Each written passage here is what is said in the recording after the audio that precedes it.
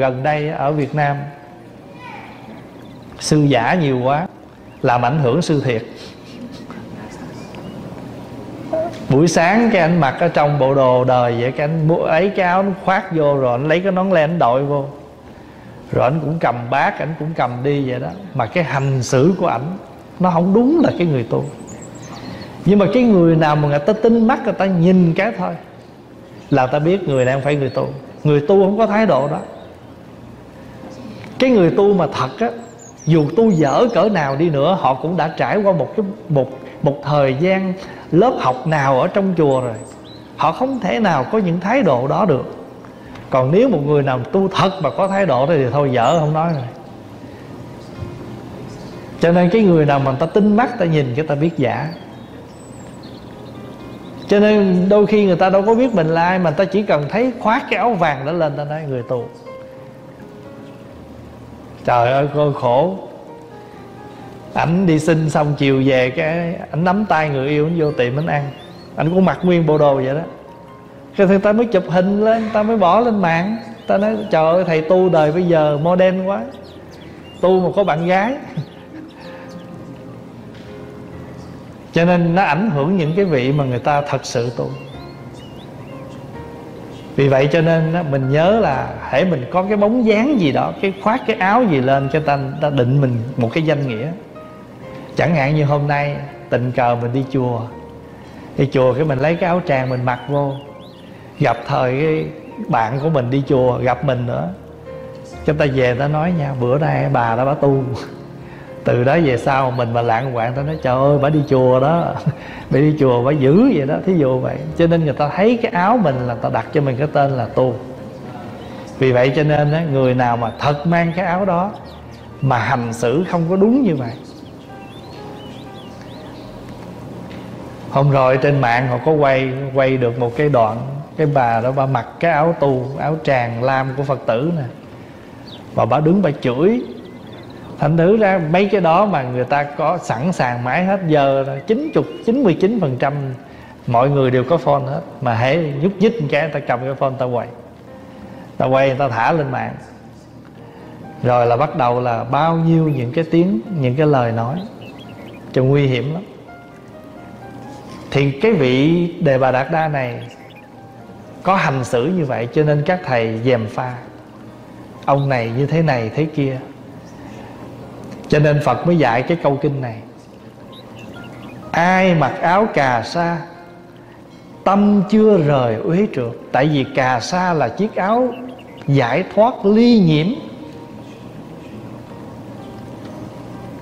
Mà bây giờ mình mặc cái áo đó rồi mà tâm mình vẫn còn nhiễm, vẫn còn thích thế gian, thì tâm và áo nó không tương đồng. Tổ quy sơn á ngài có nói một câu này trong quy sơn cảnh sách đó.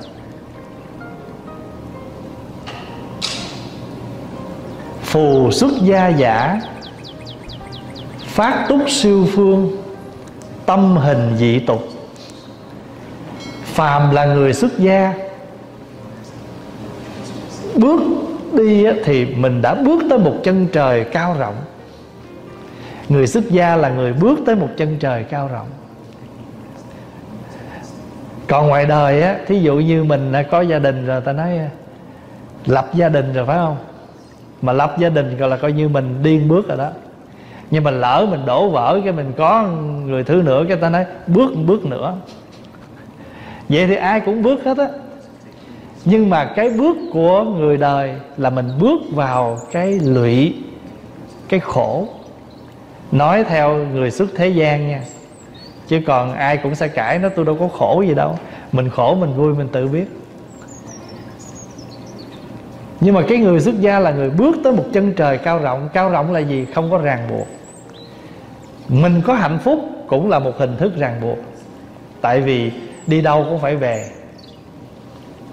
Làm gì cũng phải nhớ bổn phận. Đó là cái bổn phận của mình. Cho nên á lập gia đình, có gia đình, đâu có sao đâu, bình thường. Nhưng đó là mình có cái sự ràng buộc, phải lo cho chồng, cho con, cho gia đình, vân vân. Còn người xuất gia thì bỏ những cái nhỏ đó để bước tới một chân trời cao rộng. Phù xuất gia giả, phát túc siêu phương. Thì cái chuyện cần làm là tâm hình dị tục. Cái tâm cái suy nghĩ của mình á, cái hình tướng của mình nó phải khác người đời. Dị dị là khác đi, khác với người đời. Người đời á là mai kiểu tóc này, mốt kiểu tóc kia, mình muôn thở chỉ một kiểu. Cái kiểu của mình là kiểu cạo, kiểu phủi. Vì sao? Vì phủi nghĩa là cạo bỏ. Đã khi thường thường ta kêu là cạo tóc, phủi tóc chữ phủi chữ cạo nghĩa là gì? Là gột sạch. Cho nên cái tóc là những cái rối rắm cái phiền não còn vướng bận. Người tu là cạo cái đó. Cạo cái đó rồi làm gì nữa? Mặc cái áo mặc cái áo tu. Nếu mà mình à, người tu mà mình còn cạo cái đầu mặc áo đời thì giống cư sĩ. Hồi xưa các vị nam á, không có dám cạo đầu đâu nha tại vì ngày xưa mà cạo đầu là ở tù mới ra. Người nào ở tù mới ra mới cạo đầu. Cho nên hồi đó mấy thầy mà mấy chục năm trước mới đặt chân qua canada, qua mỹ họ gặp mấy thầy, họ sợ lắm, họ né, họ tưởng mấy mình là ở tù mới ra. Bây giờ đã thành cái mod rồi. Chỉ cái mình cạo cái đầu là mình mình mặc cái đau nói chung là cái hình tướng của mình. Nhưng mà cái tâm của mình, nó phải hai cái đó, tâm và tướng cái cách sống và cái hình thức nó phải khác đời, gọi là tâm hình dị tục. Như thế mình mới làm được cái việc là thiệu long thánh chủng, làm cho cái dòng giống của bậc thánh được hưng thịnh lên. Gọi là thiệu long thánh chủng. Còn người đời là người ta nói giỏi tông đường, ta nói giỏi cho bà con, cho dòng tộc. Người tu là không nói giỏi dòng tộc mà nói giỏi của phật pháp, nói giỏi của, nói dòng giỏi cho bậc thánh gọi là thiệu long thánh chủng, làm cho cái cái cái hạt giống của bậc thánh mỗi ngày mỗi tăng trưởng. Lên để mà làm gì nữa? Trấn nhiếp ma quân. Hàng phục các thứ ma, trong đó có ma phiền não, vân vân. Cho nên ai mặc áo cà sa thì tâm phải lìa uế trượt người đó phải làm gì? Phải chế ngự sống chân thật chữ chế ngự là gì? Chế ngự nghĩa là phải ngăn ngừa những cái gì nó chưa phát. Ở trong phật giáo á, có đề xướng ra bốn thứ cần làm. Phải siêng năng. Thứ nhất việc ác chưa sanh đừng để nó sanh. Nếu lỡ việc ác đã sanh tìm cách dẹp nó. Việc thiện chưa sanh làm cho việc thiện sanh. Việc thiện đã sanh, làm cho mỗi ngày mỗi tăng trưởng. Cái đó gọi là tứ chánh cần, bốn điều siêng năng cần mẫn chân chánh. Giữa thiện với ác. Ác chưa sanh, đừng sanh. Ác đã sanh, phải diệt. Thiện chưa sanh, làm cho sanh. Thiện đã sanh, làm cho tăng trưởng đó là tứ chánh cần. Thì đời sống chúng ta mỗi ngày là chúng ta đang sống theo cái pháp tứ chánh cần chứ gì nữa. Thí dụ như chưa ăn chay, nên phát nguyện ăn chay mỗi tháng một ngày. Ngày thôi, được không? Phải làm được. Một ngày, một tháng mà có một ngày chay mà không được sao? Rồi, một tháng ăn chay một ngày. Hỏi ăn ngày nào? Ăn ngày nào thuận lợi nhất cho mình, không cần mùng một rằm gì hết. Quý vị cứ lựa một tháng, một ngày ngày nào thuận lợi nhất cho mình. Bây giờ không biết ngày ta, phải không? Ăn ngày tây đi. Một tây mỗi tháng ăn. Hay là mỗi tháng tôi nghỉ ờ, được, tôi ở nhà 15 tây thì ăn 15 tây. Có sao đâu. Đó, việc thiện chưa sanh làm cho sanh. Ăn được năm rồi. Bây giờ cái bụng nó yên, nó nó nó chịu rồi. Hồi đó mới ăn cồn cào, đói bụng, khó chịu thèm, ăn sau năm hết rồi. Bây giờ ăn hai ngày. Việc thiện đã sanh, chưa sanh thì làm cho sanh. Đã sanh rồi, làm cho tăng trưởng. Hồi đó, đời nào niệm phật. Bây giờ tối đi ngủ đứng ngay bằng phật. Nam mô di đà phật 10 câu. Hay nam mô quán thâm bồ tát 10 câu rồi đi ngủ. Mười câu có lâu không? Mười câu đâu có lâu nhưng mà có làm, bắt đầu khởi tâm hướng phật. Làm chập rồi, quen, tối nào cũng làm, nhớ. Thiếu sót, mai mốt tăng lên, niệm phật 10 phút, hay là ngồi thiền 10 phút. Hồi nào giờ không biết tụng kinh, giờ xin bài kinh sám hối đi. Đó, cái quyển hàng tuần đó. Thích bài nào chọn bài đi, mỗi tối tụng bài đó. Một bài đó thôi, tụng để chi? Nhắc nhở trong này có bốn năm bài bài nào cũng hay hết. Chọn bài tụng. Đó, việc thiện chưa sanh, phải sanh. Sanh rồi tăng trưởng. Còn việc ác chưa sanh, đừng sanh. Thí dụ không biết chửi thề, đừng học. Lỡ chửi nhiều quá, chửi bớt lại. Chửi đến khi nào mà mình bớt đến khi nào mình rồi ví dụ như hồi xưa, không biết hút thuốc, lại tập hút thuốc. Học xong rồi ghiền ghiền thuốc ghiền thuốc tưởng sao tốn tiền. Hôi thân thể cháy gan, cháy phổi, không lợi. Giờ quán chiếu rồi thấy hút thuốc hoàn toàn không lợi. Uống rượu hoàn toàn không lợi. Chỉ có tốn tiền thêm bệnh mà ngồi đâu người ta cũng nói chuyện mình người ta cứ về dạ anh cứ nói đi, tôi nghe. Người ta hôi quá chịu không nói. Rồi mình thấy mình, thôi giờ lớn tuổi rồi, bỏ đi bây giờ thuốc lá cũng mắc lắm. Hút tốn tiền, thêm bệnh. Mà mỗi lần hút là bị cằn nhằn. Bỏ thuốc đi. Bây giờ bỏ liền, một cái liền đâu có được. Bỏ từ từ đi. Hồi xưa hút gói và nửa gói. Rồi nửa gói còn phần tư. Rồi xuống còn ngày mấy điếu. Rồi xuống còn ngày điếu. Rồi ngày còn có ngao à. Hít một cái thôi phiền quá, khỏi hút nữa tại sao hồi xưa mình chưa biết hút thuốc, mình phải tập cho được thì nhất định bây giờ phải tập ngược lại được chứ không sao hết. Tất cả là do mình tập. Cái gì mà quen rồi thì gọi là nghiệp chứ có gì đâu. Đó, bây giờ ghiền thuốc thì kêu là nghiệp ghiền thuốc. Bây giờ hết ghiền thuốc rồi thì nó khác. Cho nên, tâm chưa rời quế trượt chế ngự, chữ chế ngự là vậy. Chúng ta chúng ta ngăn chừa đừng để. Ở trong à, ở trong cái sự tu tập của đạo Phật nó đơn giản chỉ có ba câu thôi. Đừng làm các việc ác nên làm các việc lành giữ tâm cho trong sạch. Và kính thưa đại chúng thời của đức phật á, khi mà chư tăng mà súng lại mỗi tháng tụng giới, không có tụng gì nhiều á, cứ tụng ba câu đó là xong buổi tụng giới rồi đó. Tại vì đâu có giới gì đâu để tụng. Vì lúc đó chưa có một vị nào phạm giới hết. Lúc đó đoàn thể của đức phật thanh tịnh suốt mười mấy năm.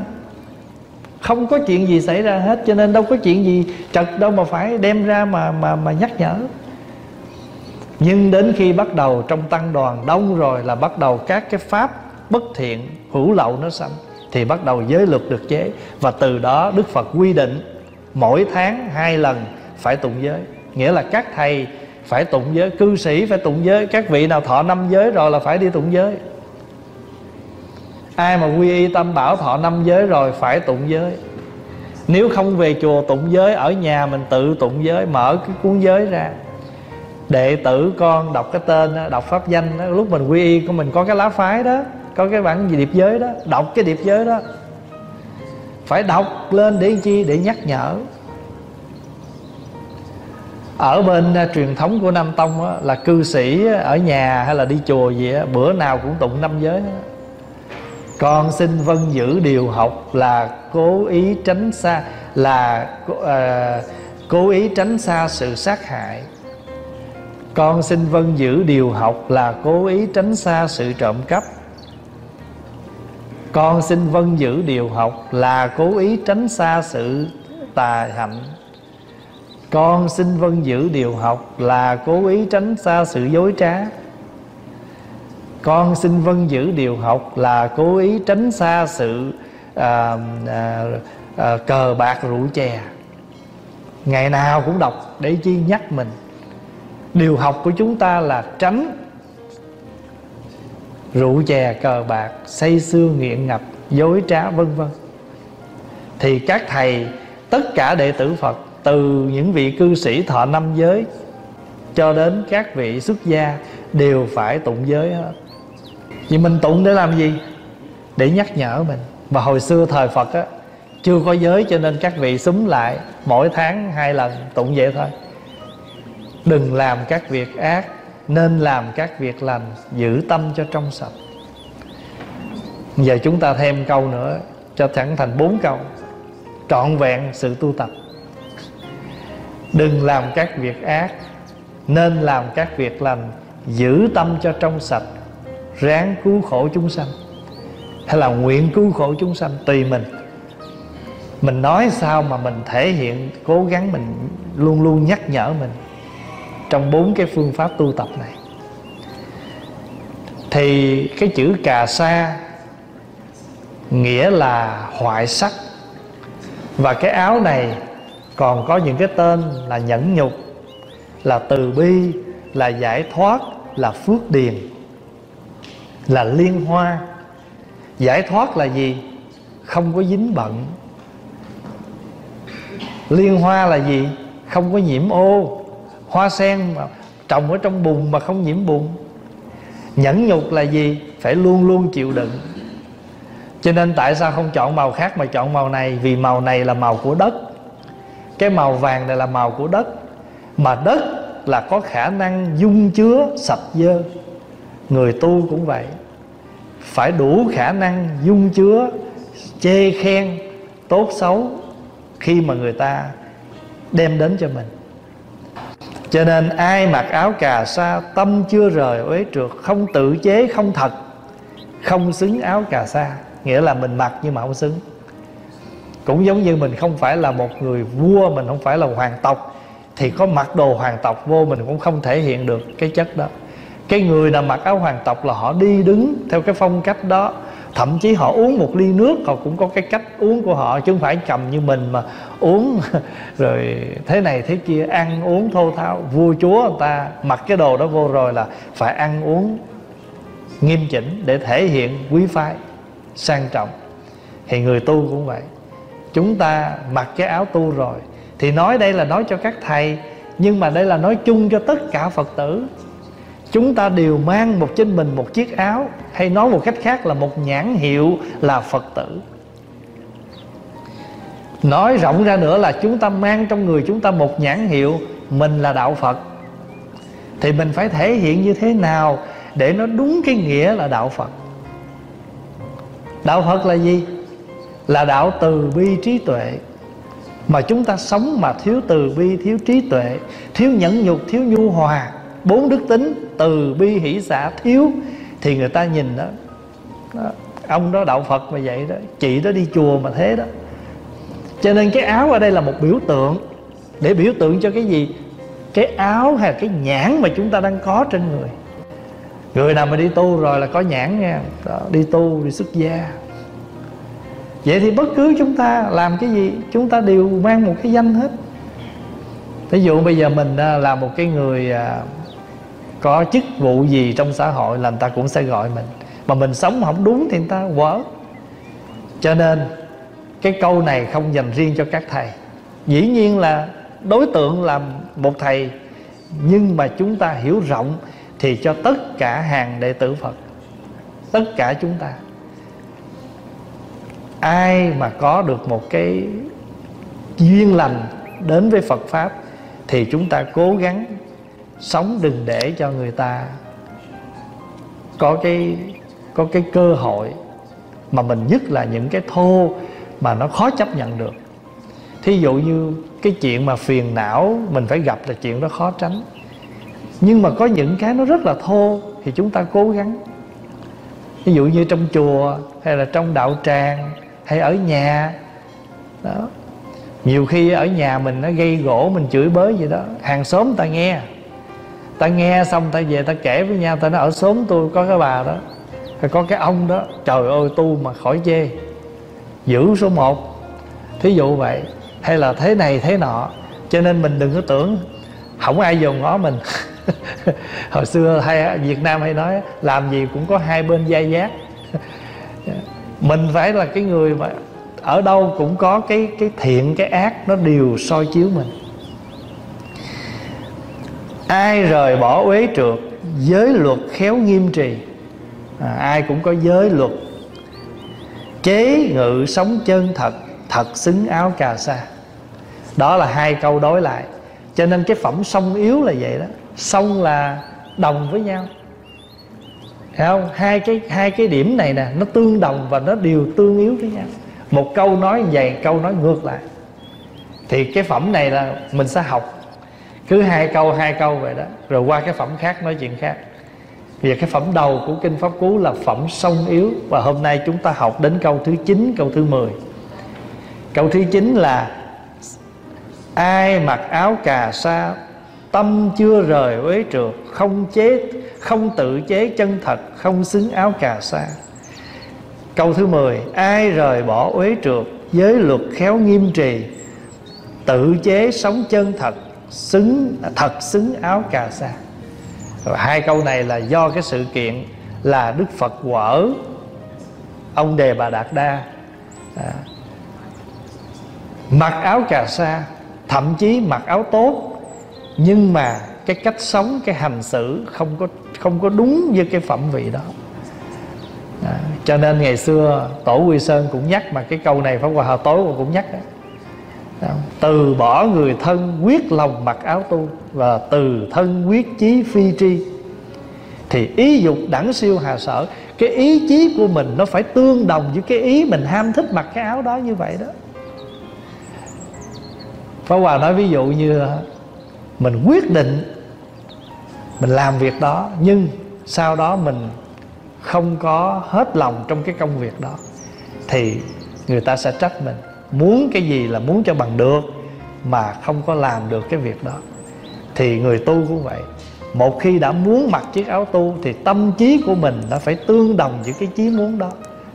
À, mặc cái áo của người tu. Thì thôi cái câu này nó cũng đơn giản cái nghĩa nó là như vậy. À, để à, à mình nói lên một sự kiện và nhắc nhở lại để cho đại chúng cũng biết. À, cái áo này tiếng phạn là kasaya chúng ta đọc là cà sa nghĩa dịch âm. Cái đó là mình đọc âm thôi chứ chưa có nghĩa. Nghĩa của chữ cà sa là màu sắc không có chính tức là màu nó bị ờ, ờ, bị luốt đi.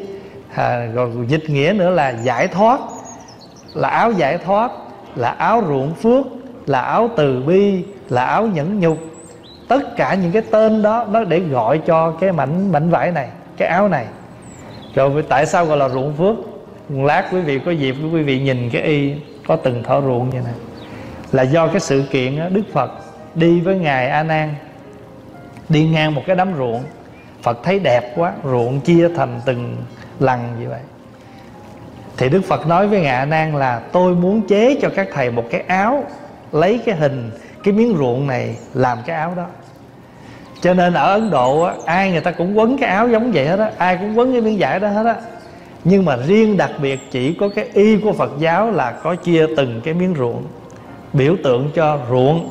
Mà ruộng này không phải là ruộng à, lúa mà đây là ruộng phước. Cho nên người nào mặc cái áo đó là đang gìn giữ một cái ruộng phước thì chắc hẳn họ phải là người tích phước để họ mới giữ được cái miếng ruộng đó. Ý nói vậy đó. Cho nên người tu là người kiệm phước mà không dám tổn phước. Mà một khi mình mặc cáo này rồi á, người ta chửi phải chịu. Tại sao? Tại vì đây là đất. Đất nè, ta đổ nước sạch, nước dơ phải chịu, cho nên gọi là áo nhẫn nhục. Rồi cái gì mà người thế gian người ta dùng mà nó không hợp với người tu, không nên dùng. Thì cái đó gọi là thí dụ thôi, những cái trang sức những cái áo quần mà người đời người ta mặc, người tu không thể mặc. Ví dụ, bây giờ người đời người ta mặc áo da. Không lẽ mình nói tôi cũng thích cái áo da. Mình tu mà thí dụ ở trong này mà mặc cái áo nâu, rồi đi khoác ở ngoài cái áo da, trời nhìn coi nó không giống gì hết trơn. Phải không? Thành tự ra, có những cái nó mình không thể dùng được. Thì mình phải xa cái đó đi, nó mới đúng cái nghĩa là áo gì? Áo giải thoát, áo liên hoa vô nhiễm người người tu, người đời, người ta bước ra đường là người ta phải trang điểm. Người tu không có trang điểm. Cái đẹp của người tu là cái uy nghi, cái phong cách, cái nói năng, chứ không phải son phấn. Người đời, người ta sử dụng cái đó, không sao. Đó là, cái đó là chuyện bình thường. Còn người tu, một khi đã xuất gia, đã tu rồi thì không sử dụng son phấn. Thí dụ vậy. Thì à, đó là cái câu à, hai câu chín mười của kinh pháp cú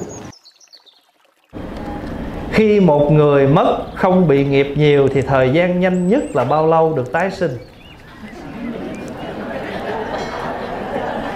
Muốn biết việc này thì để pháp hòa theo dõi.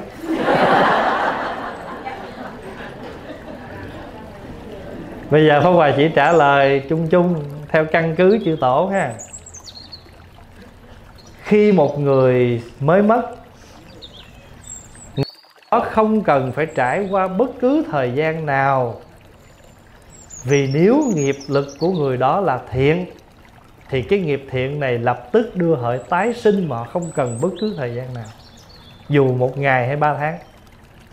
Còn nếu người nào nghiệp họ cực ác, họ cũng không cần trải qua nào ngày nào hết, họ liền đọa lạc theo cái nghiệp ác của họ. Nhưng mà con người chúng ta, thiện ác nó đều có. Có khi cũng từ bi dữ lắm, mà có khi cũng cay cú. Cho nên chư tổ nói có 49 ngày. Để làm chi?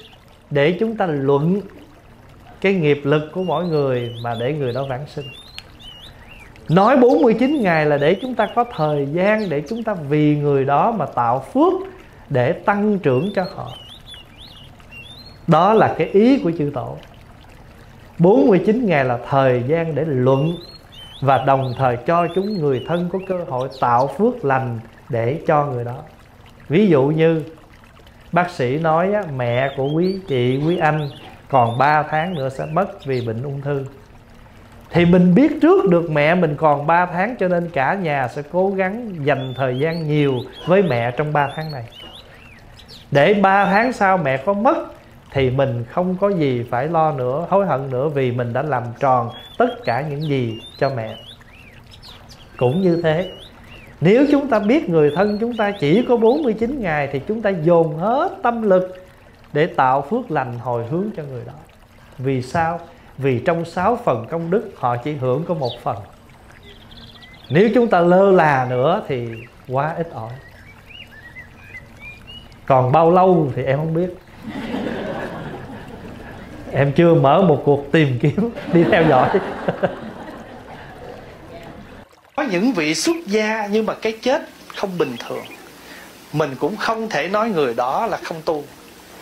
Mình tu là đời này nhưng mỗi người có cái nghiệp cuối đời của chúng ta. Chúng ta không thể nhìn một cái chết, một cái vị nào đó rồi chúng ta nói là vị đó thiếu tu. Không phải vậy đâu. Quý vị thấy đức phật không?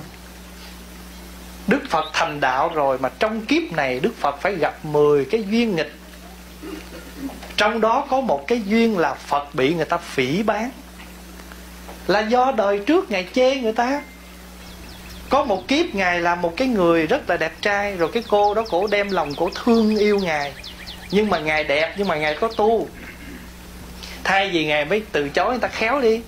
Ngài nói là, tôi cũng cảm ơn tình yêu của cô nhưng mà thôi tôi không có duyên với cô, tại vì tôi thích tu thí dụ vậy đi không ngài nói vậy nè.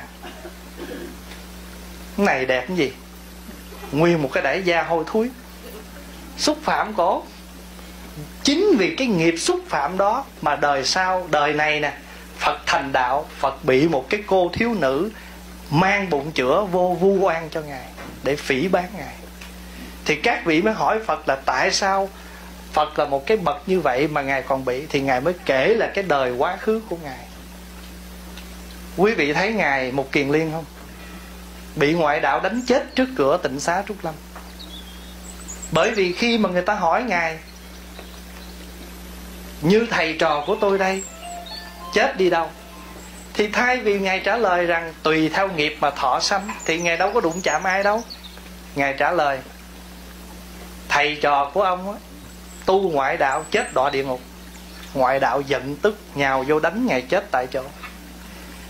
Mà khi mà ngài chết rồi thì ngài xá lợi phất và các thầy tới xúc ngài lên hỏi ngài tại sao sư huynh có thần thông mà sư huynh không đằng vân sư huynh bay thì ngài một kiền liên trả lời khi nghiệp lực nó đến một chữ Thưa, thần còn không nhớ đừng những nói tới chữ à, thông. thời gian ngắn ngủi cuộc đời mình để làm dễ sợ không? Này pháp hòa có một bà cụ quen niệm phật nè mà là khi mà bà đau hỏi quá bà sau vô thăm bác Đúng. nhớ niệm phật Cho dù- vị biết bác trả lời sao? Khi cái cơn đau nó hoành hành chữ nam còn không nhớ đừng nhớ tới chữ phật. Đó cái câu đó để mới nói với chúng ta rằng nếu đời này chúng ta không lo huân tu rồi đợi tới lúc chết mà người ta niệm cho mình biết mình có giao cảm với cái đó không? Mà mình mình đợi mình chờ. Thì cuối cùng ở đây cái vấn đề mà mà gọi là mình làm những cái việc là ngạ quỷ, tất cả đều là nhắc nhở mình phải nhẹ nhàng, phải từ tốn trong tất cả mọi việc. Không có tội lỗi nếu mình phải khinh xúc một cái gì hết. Nhưng nếu chúng ta tâm mình có pháp đó, thì tự động chúng ta sẽ trân trọng nó. Như hôm qua pháp hòa ví dụ, nếu tâm mình biết nhận đây là cái chuông, là một pháp khí của nhà phật để tụng kinh tự động chúng ta thấy cái chuông chúng ta trang trọng để nó. Còn nếu tâm mình không có cái chuông, thì cái này không là gì hết, là một miếng đồng gõ cái ben cho nó kêu tiếng. Nếu tâm mình có cái pháp y, thì cái pháp y của mình để trên đầu. Còn nếu tâm mình không có pháp y, đừng có thọ gì mất công, mình ở đâu mình cũng cầm nó như miếng vải vậy à. Nó vậy đó. Thì thưa đại chúng, tất cả những gì chư tổ nói nó đều là giúp cho chúng ta giảm đi cái hạnh thô tháo, cái sơ thất của mình trong cuộc sống thôi. Chẳng hạn mình đi vào trong nhà vệ sinh, gõ cửa 3 tiếng, ở trong kia đáp lại 3 tiếng nếu trong đó đang có người. Mà không cần phải la lên, I am here. Hoặc mình cũng cần hỏi, who's there? Chỉ cần đáp, gõ 3 tiếng, ở trong đáp lại 3 tiếng, mình chỉ muốn biết có ai, thì người đó tại sao không lên tiếng? Vì không muốn cái thô nó lộ ra. Đáp ba tiếng. Rồi đi vào trong nhà vệ sinh trước khi ngồi xuống gõ miệng ba tiếng. Chư tổ nói có những loài ngạ quỷ họ ăn cái phẫn dơ đó. Mình không muốn cho mình đánh cho họ. Mình mình đánh, ý thức đánh thức để cho họ gian ra. Cái đó cũng là một cái ý niệm nhắc nhở chúng ta trở về cái giây phút hiện tại. Chúng ta đang ở cái chỗ xú uế tống khứ đó ra như tống khứ tham sân si. Cho nên gõ xong rồi liền có bài kệ. Đại tiểu tiện thời, đương nguyện chúng sanh, khí tham sân si quyên trừ tội lỗi. Lúc đại tiểu tiện, cầu cho chúng sanh bỏ tham sân si trừ hết tội lỗi. Cái gốc tội là tham sân si. Mà cái gốc tội nó dơ, nó chán, nó hôi như là cái tập dơ mình vừa thải ra. Không muốn nhìn không muốn thấy không muốn nói không muốn ngó nhấn cho nó đi liền. Cho mười tu của chúng ta tham sân si hiện khởi đi liền. Còn những cái gì chúng ta làm đó là phương tiện và giúp cho chúng ta thuần hóa thân miệng ý của mình thêm hơn trong cuộc sống. Kính bạch thầy, con muốn nhờ thầy giải đáp câu hỏi của bạn con. Khi nhập liệm người mất đã đóng nắp quan tài, thầy gõ hai cái vào quan tài, sau đó gõ thêm một cái nữa, vậy có ý nghĩa gì? Có ý nghĩa gì đâu, hai cái không đủ làm cái nữa cho đủ ba. Bộ muốn thế dỗ thầy thì sao phải hỏi mấy vụ này? muốn giành rớt thật ra cái đó chỉ là một cái hình thức lễ nghi nhắc nhở người mất tại vì đậy đắp quan rồi sắp sửa đưa đi thiêu hay chôn thì mình muốn tỉnh thức cái người mất đó để họ đừng có lưu luyến cái xác thân tứ đại của họ. Mình mới dỗ vô quan tài. Thì thường thường mình gỗ mấy cái mình dỗ nhưng mà trung bình gỗ ba được rồi. Thì mình dỗ một cái hai cái rồi bắt đầu mình mới gọi cái tên người mất. Hương linh nguyễn thị bông. Đó, pháp danh diệu lai ví dụ vậy đó. Rồi, xin lắng nghe. Mình nói hương linh, xin lắng nghe. Cõi cực lạc, ngàn hoa sen đua nở thắm. Chốn phàm trần rối rắm chuyện tử sanh. Hương linh nay phát tâm lành, chí tâm niệm phật vãng sanh sen vàng. Cũng là một câu. Hoặc là mình nói, hương linh, xin lắng nghe. Tây phương không xa cách tây phương trước mặt người ngàn sông về biển lớn trăng lặng không lìa trời.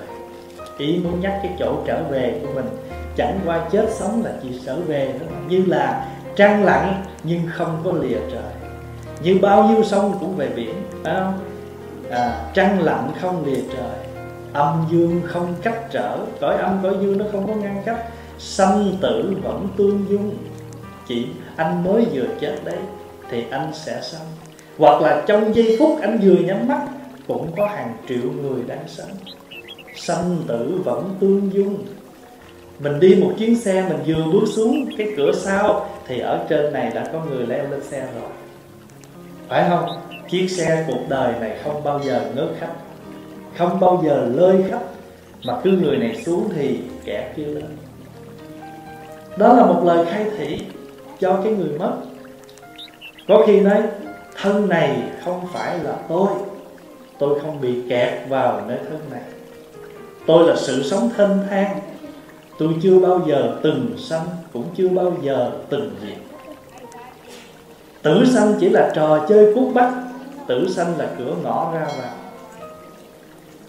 Hãy vẫy tay chào, để tức thì gặp lại gặp lại hôm nay và gặp lại ngàn sau đó là sự nhắc nhở có nhiều câu để nhắc lắm nhiều câu để nhắc nhở. Lắm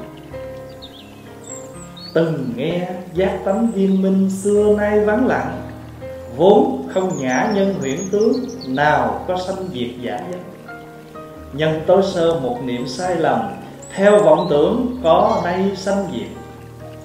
Mình bị vọng tưởng cho nên mình mới thấy sống chết là khổ đau. Tuy nhiên việc nào có việc không thấy sao? Đạt ma tôn giả, quẩy dép về tay sanh mà không sanh, thích ca thế tôn song lâm nhập diệt. Nếu không một phen thấu triệt, khó khỏi nhiều kiếp nổi trốn nên người trời còn có luân hồi, huống phàm thứ há không sanh tử. Cái câu, người trời còn phải có luân hồi chuyện có người phương tình mình chuyện sanh tử chuyện bình thường. Nhắc nhở xong rồi, hương linh biết đường đi chưa? Biết rồi, thôi cứ đi. Rồi dỗ cái bóp, đi. Tiếng hán kiểu khứ. Thì cái đó là một sự nhắc nhở thôi. Và đó là một lễ nghi thôi. Một lễ nghi để mình muốn nói với người chết. Cái thân này sắp sửa theo mây khói. Nếu không có hiểu được chỗ này, dính mắt cái thân này, tứ đại này sẽ khổ. Cho nên trước khi đưa vô lò thiêu mình in case. Mình phòng phòng ngừa cái chuyện là người đó dính mắt cái thân tứ đại của họ. Mình nhắc họ một câu, gõ vô cái quan tài, một vài cái để nhắc. Ở bên, nếu mà làm cái nghi đó cho người xuất gia nó còn rườm rà hơn người mất. Vị hòa thượng cầm cái cây phất trần á giống như mấy ông thấy giám ở trong triều cầm vậy đó. Cây đó gọi là cây phất trần. Trần là bụi phất là phủi. Trước khi đi chôn, đi thiêu, hòa thượng lớn hơn cầm cái phất trần đi vòng vòng quan tài. Phất, vừa phất vừa nói. Tích nhật như thị lan. Hôm trước tới đây làm sao? Kim triêu như thị khứ, sáng nay cứ vậy mà đi. Ngày trước tới đây thế nào? Hôm nay cứ thế mà đi. Hiểu chưa? Hiểu chưa? Hội ma hỏi ma hòa thượng hòa thượng hỏi ma. Lấy cái cây đó gõ vô quan tài vài cái, cho khi đi chôn hay đi tiêu vậy thì đó cũng là sự nhắc thôi. Cũng giống mình giờ thấy ai ngồi gật lên gật xuống vỗ cái bóp. Tỉnh dậy tỉnh dậy. Cho con hỏi mỗi lần tụng kinh là con xúc động và khóc. Con không biết tại sao. Dư nước mắt khóc hết nước mắt khỏi khóc. Thưa đại chúng, khi mà mình à, khi mà mình à, tụng kinh, hay thậm chí mình nghe bài hát, mình cảm xúc, đó là chuyện bình thường. Còn tụng kinh, mình nghe cái lời kinh nó tha thiết. Hoặc là trong quá khứ mình đã từng tiếp xúc với lời kinh này, bây giờ mình nghe trở lại như một cái gì đó, nó nó gợi lại và nó sống lại trong mình thôi. Trước đây cha con mất khi tẩm liệm có mặc chiếc áo dài đỏ ở Việt Nam đó, Bây giờ mẹ con lớn tuổi, con chuẩn bị cho mẹ, Nhưng ở đây con không biết tìm áo như vậy ở đâu. Con không biết ý nghĩa chiếc áo đó Có cần thiết phải mặc chiếc áo đó cho mẹ. Khi mất không thầy, Con xin thầy chỉ dẫn cho con. Ở Việt Nam mình á, Theo cái phong tục người Á Đông nha, Cái này cũng chẳng dính dáng gì tới đạo Phật hết á.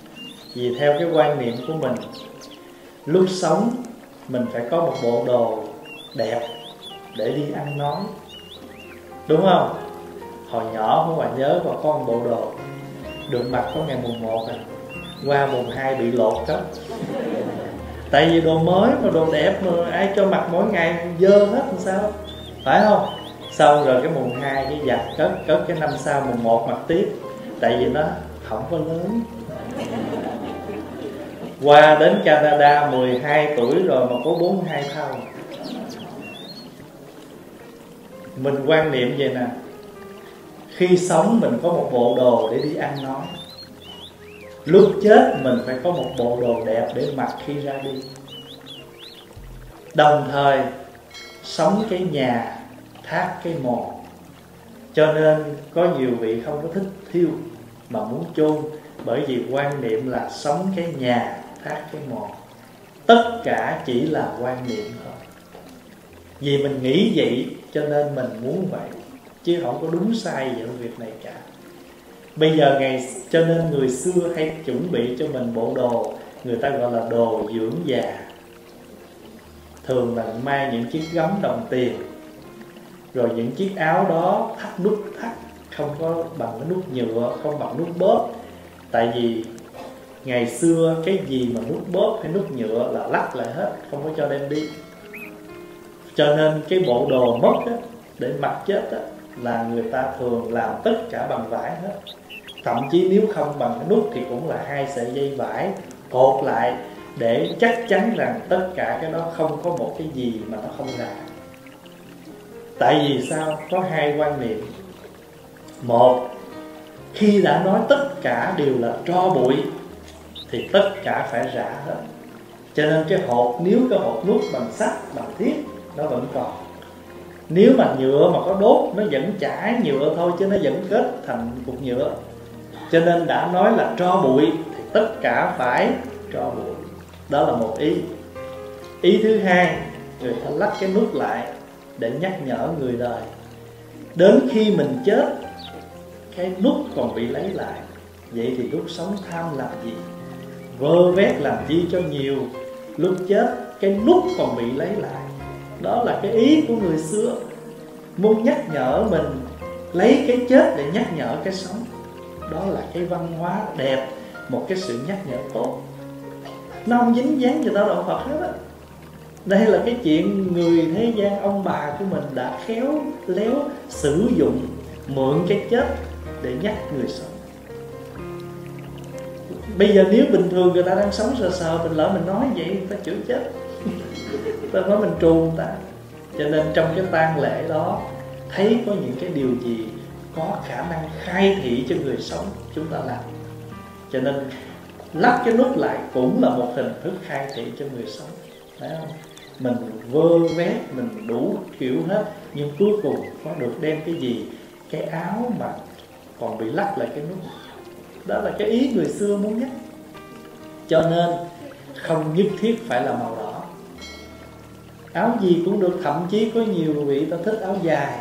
Thậm chí có những phật tử rất thích bộ đồ vạt hò, áo tràng cho nên các vị sắm sẵn bộ đồ lam một cái áo tràng dạng con cháu. Thôi còn cả đời của mẹ, đồ đẹp gì mẹ cũng mặc hết rồi. Mẹ chỉ muốn cuối đời mẹ ra đi, mẹ mặc đồ của phật đồ của chùa đồ người tu. Mẹ sắm sẵn bộ đồ vạt hò chao áo tràng chuối, chuỗi mai mốt mẹ con ra đi con cứ mặc về cho mẹ. Thí dụ vậy đó. Cho nên không có chuyện tốt xấu đúng sai gì trong việc này hết. Tất cả cái quan niệm của mình. Ở đây có nhiều khi mình ở Việt Nam mình đó khi mà sắp mất là phải lấy rượu lau mình sạch sẽ. Nhúng khăn lau mình cho người mất sạch sẽ để chi? Sạch sẽ khi ra đi rồi thay liền bộ đồ, nếu thấy người đó hấp hối là phải thay liền bộ đồ. Với quan niệm là mặc đồ đẹp để đi. Ở nước Mỹ của mình, ở Canada mình, mặc đồ gì mặc, khi nhà hoàng đến, họ lột hết ra. Họ chỉ để cái cái thân xác của mình trơ ra, họ quấn bằng cái cái tấm ra giường đó. Họ để trong một cái bao ni lông, họ kéo lại. Tại vì vô trong nhà hoàng, họ để vô phòng lạnh và trước khi mang ra thiêu, họ phải xử lý cái cái xác đó. Họ phải tắm rửa, họ phải bơm thuốc, cho nên mặc cái gì mặc, họ cũng không có để đó, họ lấy ra hết. Thì ở đâu mình theo đó thôi, hoàn cảnh nào mình phải chấp nhận thôi. Cho nên ai ở đây mà bệnh viện mà sắp, người sắp mất mà mình mang quần áo vô mình mặc, lát xong rồi họ cũng tháo ra hết rồi. Họ đâu có để đó đâu mà. Cho nên mình để yên đó. Chỉ có sửa là cho người mất nằm ngay ngắn lại rồi một lát nhà hoàng họ tới họ bưng đi thôi. Và cái cách của họ đem đi là họ lấy ra hết họ quấn trong một cái ra rồi họ để trong cái bao họ kéo lại họ để trong cái băng ca họ cột và đem đi. Rồi vô trong đó họ đẩy vô trong phòng lạnh. Có nhiều người mất cả tháng sau mới làm đám mà. Đó, thành thử và trên nguyên tắc ở đây trước khi đem ra là phải chích thuốc phải xử lý cái xác hết cho nó sạch sẽ. Cho nên cái việc đó không có thành vấn đề không có quan trọng mình chuẩn bị thì cứ chuẩn bị và mình cũng tùy duyên, tùy hoàn cảnh, mỗi góc độ mà chúng ta hành xử theo cái tang lễ thôi, chứ không có gì, không có đúng sai tốt xấu gì trong việc này hết.